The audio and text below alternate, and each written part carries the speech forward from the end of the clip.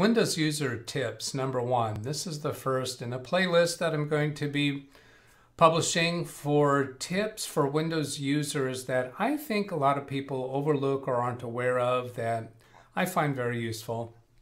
So this first one is going to be about clipboard history. So clipboard has to do with copying and pasting.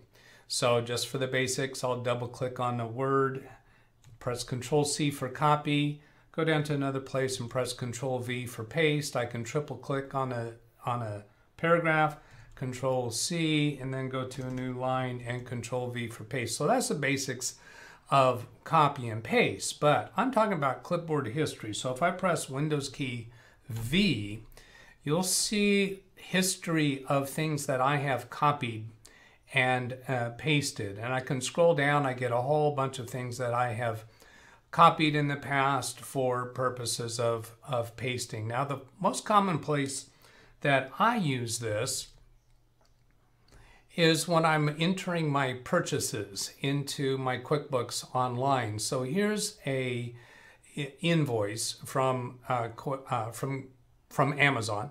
So I'll triple click on the description of the item I purchased, press Control C. I'll double click on the price for the item, press Control C.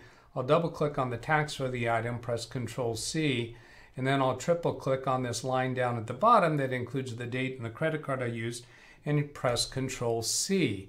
Then I'll come up to this tab in QuickBooks Online and I have an expense sheet already showing here and I just type AM to get Amazon Business. The credit card I also saw I already saw that it was that one. But then the date at this point, if I've forgotten the date, then I can press Windows key V and see, well, that date was June 7th. So now I can just use any variety of methods. In this case, I'll just use the minus sign, which increments that date down by one day. Payment method is CR for credit card. Then I'll come down to this paid, prepaid sales tax to vendors. Single click in this field. It highlights that field when Windows key V and then click on the sales tax for that item. Then come down into this description, which it's automatically showing the description of the last item that I created, an expense slip for Amazon. But I highlight that and then Windows key V, and I'll click here on the description of that item.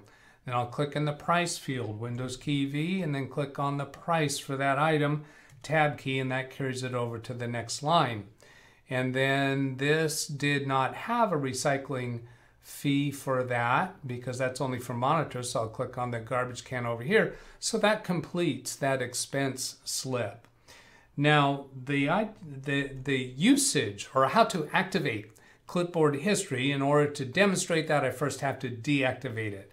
The way I turn it off is come to the Windows button and then type clipboard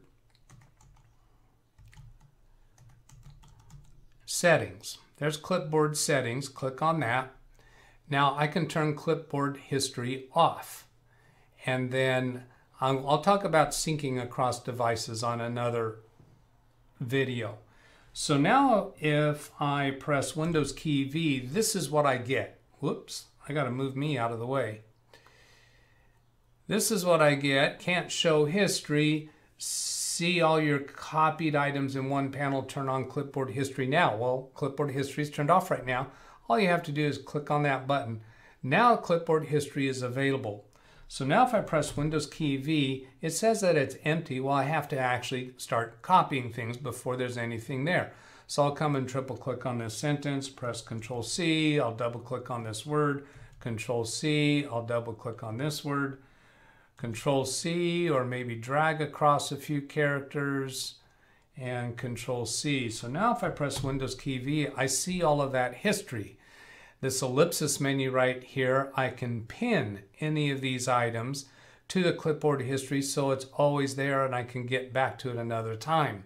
If I'm finished with my work session, I'm going to walk away from my computer. I don't want somebody to see the things that I have copied. Maybe I've copied a password so that I can paste it somewhere. Well, you can click on one of these ellipses and clear all. So that's going to clear everything except for the one that I pinned. So then I can unpin that. I can clear all. Now they're all gone. Again, I'm back to clipboard is empty. So I hope that was useful for you. Have a great day. Catch you later. Goodbye.